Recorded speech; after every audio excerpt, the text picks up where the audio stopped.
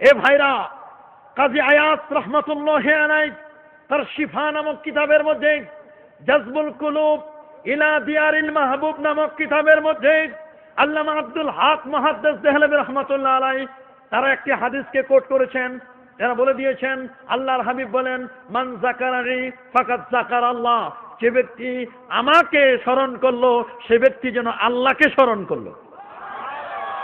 Oman জাকার আল্লাহ যে ব্যক্তি আল্লাহর জিকির করল, সে যেন আমি নবী মোস্তফার জিকির করল।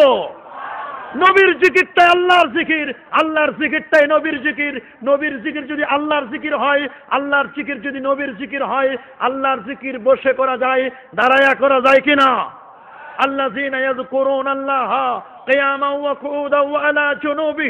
আল্লাহর জিকির যেমন দাঁড়াই করা যায়, আমার নবীর জিকিরটাও দাঁড়াই করা যাবে না?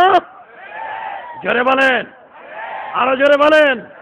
সাত কাবলা কাবলা রহমতুল্লাহ আলাই তিনি কি বসে বসে নবীকে ইয়ানবী করেছেন না দাঁড়ায় দাঁড়ায়? আরও জোরে বলেন, ঠিক কিনা বলেন? দাঁড়াই করছেন কিনা? আজ যেই জায়গায় আমরা শোয়া, এই যেই জায়গায় আমরা আজ বসে আছি কোরআনের তাফসীর শুনছি ইসালে সব অনুষ্ঠান করছি। এই ভাইরা, এই পৃথিবীর আয়তন সম্পর্কে বৈজ্ঞানিকরা বলেছেন, এই পৃথিবীর আয়তন হচ্ছে উনিশ কোটি উনসত্তর লক্ষ পঞ্চাশ হাজার বর্গ মাইলের এই পৃথিবী।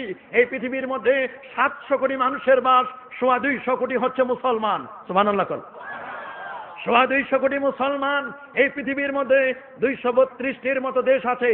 দুইশো বত্রিশটি দেশের উনষাটটি হচ্ছে মুসলিম দেশ। উনষাটটি মুসলিম দেশের ক্ষুদ্রতম হলেও, ছোট্ট হলেও অলি আউলিয়ার দেশ, পীর মাসাইকের দেশ, শাহজালালের দেশ, শাহপুরানের দেশ, শাহ মাকতুমের দেশ খানজাহান আলীর দেশ, ফতেহুল্লার দেশ, গরিবুল্লার দেশ, ওই ফুরফুরার দেশ, ওই ফুলতলি সাফ কামলা রহমতুল্লাহ দেশ সারসিনার দেশ, জৌনপুরের দেশ বদরপুরের দেশ, তিনশো ষাট অলির দেশ, বারো আউলিয়ার দেশ, আমাদের সবুজ, শ্যামল, সুন্দর ডিজিটাল বাংলাদেশ, ঠিক কিনা বলেন? বলেন, ঠিক কিনা? এই দেশ আবাদ করেছেন যারা, তারা কারা? তারা হচ্ছেন আল্লাহর অলিরা, ঠিক কিনা বলেন? আরও যারা বলুন, ঠিক কিনা? এই দেশ আবাদ করেছেন শাহজালাল।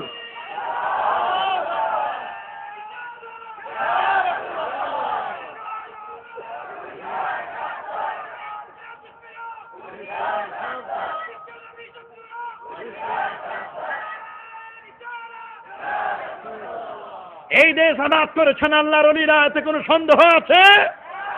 আর একদল বেয়াদব মার্কা মৌলবী শুরু হয়েছে। এরা বলছে, এই দেশের মধ্যে পীর অলিদের কোনো অবদান নাই। জোরে কন্যা উজুবিল্লাহ কারু সিলাই সেন্নি খাইলা, মোল্লা চিনো না। ঠিক কিনা বলেন? কার সিলাই সেন্নি খাইলা, মোল্লা চিনো না। তোমরা বলো পীর মুরিদি, সেরেক, বেদাত, হারাম, নবীদেরকে চেনো না। নবীদের নামে বদনাম গাও নবীদের মর্যাদাকে ক্ষুণ্ণ করো। তোমরা বলো ইউনুস নবী নাকি একটি মুহূর্তের জন্য সেরেক করেছে? ইব্রাহিম নবী সেরেক করেছে? ইউনুস নবী আর ইব্রাহিম নবী সেরেক করেছে? যেরকম নউজুবিল্লাহ? এ ভাইরা, তিনশো ষাট অলির দেশে শাহজালালের বাংলাদেশ এই দেশের মাটি সিক্ত হয়েছে, এই জমিন সিপ্ত হয়েছে আল্লাহর অলিদের চোখের পানিতে। জোরে বলেন, ঠিক কিনা আরও জোরে বলুন, ঠিক কিনা এই জমিন আবাদ করেছেন আল্লাহর অলিরা। এই জমিন মিলাদ ক্যামের জমিন। জোরে বলেন, ঠিক কিনা এই জমিনকে, এই জমিনে বসে আমরা আমার নবীকে, ইয়া নবী বলতে পারব না? পারব কিনা নবীদের এটাই তো শান। নবীরা রৌজা শরীফে জিন্দা রয়েছেন, হায়াতুন নবী শুধু আমার নবী নয়, বরং পৃথিবীর সমস্ত নবী, এক লক্ষ চব্বিশ হাজার নবী এবং রাসুল, তারা তাদের কবর শরীফে, রৌজা শরীফে তারা জিন্দা। আল্লাহ রসুল বলছেন, আনা হাইয়ুন ফি কবরি, আমি নবী কবরের মধ্যে জিন্দা থাকব, শুধু আমি নই। ইন্না আম্বিয়া আল্লাহে আহিয়াউন ফি কুবুরিহিম, ওয়া হুম ইরজাকুন, ওয়া হুম ইসাল্লুন। সমস্ত নবীরা কবর শরীফে তারা জিন্দা, আল্লাহর পক্ষ থেকে তারা রিজিক পায়। আল্লাহু আকবার বলেন। আল্লাহর পক্ষ থেকে তারা কি পায়? জোরে বলুন। তাহলে যারা রিজিক পায়, রিজিক খায় কবর শরীফের মধ্যে, আমার রসুল বলেছেন মুসলিম শরীফের হাদিস, আস্তে এক দল বের হয়েছে, যারা বলেন, খালি আমরা বুখারি মানি আর মুসলিম মানি, আবু হানিফাকে মানি না, তোমাদের জন্য তোমাদের জন্য রেড সিগনাল তোমরা শুনে রাখো, যারা আজ বলো, আমরা আবু হানিফাকে মানি না, ইমাম বুখারিকে মানি, তোমরা শুনে রাখো, ইমাম আবু হানিফার একশো চোদ্দ বছর পরে এই পৃথিবীর আলো দেখেছে ইমাম বুখারি, ঠিক কিনা বলেন? যারা বলেন, ঠিক কিনা? ইমাম বুখারি তিনি ছয় লক্ষ হাদিস জানতেন। আমরা তাকে সেলিব্রেট করি, কিন্তু ইমাম বুখারির আল জামিউল মুসনাদ আস-সহি আল মুখতাসার মিন উমর রাসূলুল্লাহ সাল্লাল্লাহু আলাইহি সাল্লাম মিন সুনানিহি ওয়া আইয়ামিহি ইমাম বুখারির বুখারি হতো না, যদি ইমাম আবু হানিফার কিতাবুল আসার যদি তিনি না লিখতেন। যেরকম না সুবহানাল্লাহ। আল্লাহু আকবার বলেন। যেরকম আল্লাহু আকবার। ভাইরা আমার, ইমাম বুখারি, তিনি মুহাদ্দিস, আর ইমাম আবু হানিফা, একদিকে মুহাদ্দিস, একদিকে মুফাসসির, একদিকে মুফতি, একদিকে আদিব, ঠিক কিনা বলেন? ইমাম আবু হানিফা, তিনি ফতোয়ায়ে স্বামীর মধ্যে লেখা আছে, ইন্নাহু রাব্বাহু আযজা ওয়া জাল্লা মিআতা মাররা ফিল মানাম, যিনি আমার আল্লাহকে 100 বার স্বপ্নে দেখেছেন। চল্লিশটি বছর তিনি এশার দিয়ে ফজরের নামাজ পড়েছেন। যার বারো, যার নব্বই হাজার ছাত্র ছিল, সাড়ে ছয় হাজার ওস্তাদ ছিল। এত বড় পণ্ডিত ছিলেন যিনি পবিত্র কোরআন মাজিদ থেকে এগারো লক্ষ মাসালা বের করেছেন।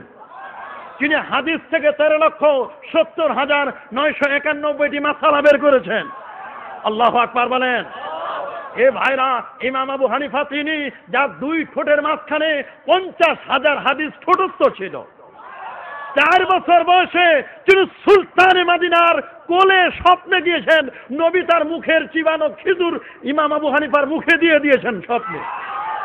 ইমাম আবু হানিফা তিনি যিনি আমার নবীজির রোজা মোবারক জিয়ারত করেছেন সাতান্ন বার। জীবনের শেষবারে বলছেন, ইয়া রাসূলুল্লাহ, আপনার রোজার পাশে এসেছি। আপনার নুরানি হস্ত মোবারক বের করে দিন। যতক্ষণ না আপনার নুরানি হাত চুমু না খাব, ততক্ষণ এই মদিনা ছাড়বো না। আল্লাহ আকবার।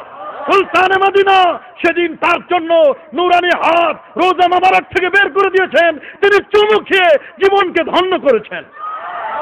সেই মামা জমাবু হানিফা তিনি, যিনি খানায় কাবাই দু রাকাত নামাজে প্রথম রাখাতে পনেরো পারা, দ্বিতীয় রাখাতে পনেরো পারা, এক খতম কোরআন পড়তেন।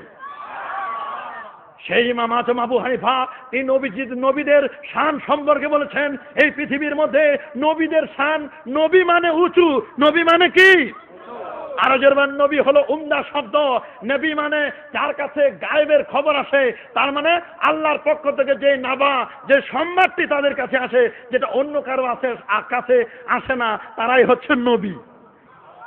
যেরকম সুবান আল্লাহ নবীর পথটি, এটা হলো সর্বোচ্চ পথ। সোমান আল্লাহ খান তবে হ্যাঁ নবীর চেয়ে আরও একটু উপরে হলেন রসুল, রসুলের চেয়ে আর একটু উপরে হলেন খলিল, খলিলের চেয়ে আরেকটি উপরে সবচেয়ে সেরা পথ হলো হাবিব।